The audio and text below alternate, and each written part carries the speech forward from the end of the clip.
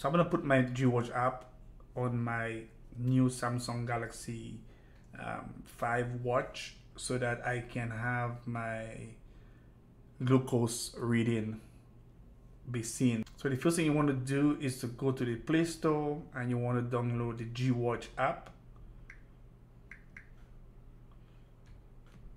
There you go. And you're going to want to download it. You're going to want to install the app on your phone. There you go. Allow, allow, and let's see if we add watch face. Gonna tap on there.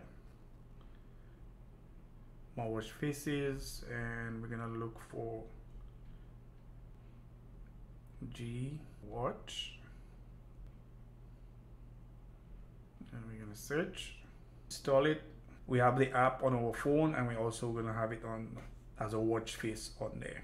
So while that's that's installing, I'm gonna go ahead and put in our go to settings, data source, and enable Dexcom share. You wanna do that. You're gonna put in your login and your password on there. So go ahead and put yours in. Okay. And you wanna tap on there and configuration apply. Make sure your password is correct, guys. And when you click OK you tap configuration apply. Let's make sure that our watch face is installed.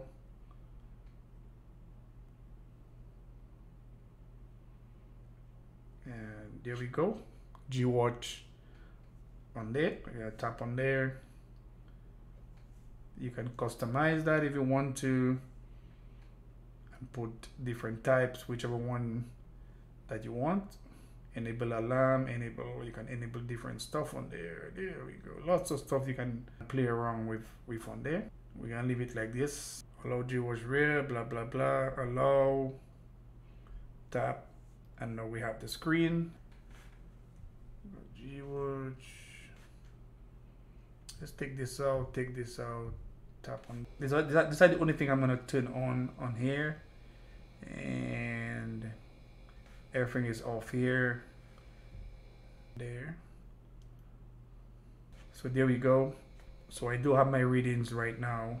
And let's see how correct that is. So if I open my dex my Dexcom there we go. So it's working 210 210 so everything is working. On the new one you don't have a lot of you don't have the option to go and put all the stuff in there like on the old one so on the old one, you can see there's lots of option in there. But on the new one, for the for the for the um for the Watch Five, all the options to change everything on there is actually done on the watch. So you have to hold down, go in here, and right in there you can customize whatever you want. So we tap, we tap, it goes down, customize, and then you can move down like this. Let's try this one here and tap that and it does change. So that's how you do it. Tap and hold customize and you can look to see which one that you like. They're all dark. So I can go down. I think I like this one. Just like that. Um, let me see if I can go in. Let's see. I want to go in customize go across. Oh so you can go across and probably take off some of those things. So you can see your battery setting here.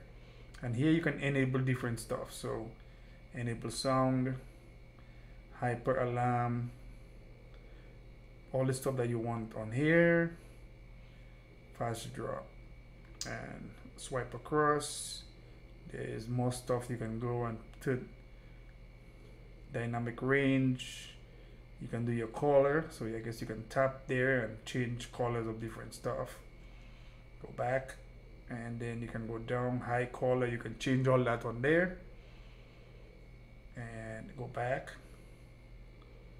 Tap on the screen there you go. Pretty cool. It works. Yeah but the main thing about about that app is that you want to make sure that you put in your exact Um, so this is the old one here. So we're gonna have to uninstall. I hope I uninstall the old one. And we still have this one here. So this is a new one. Widget for it. I'm gonna go to the widget area and go to GWatch. There's one, so there it is. I'm gonna hold that and put that on my screen because I like having this on my screen more information you go in there. You can see my it's going down right now. So this is Charlie guys and I'll talk to you guys in the next video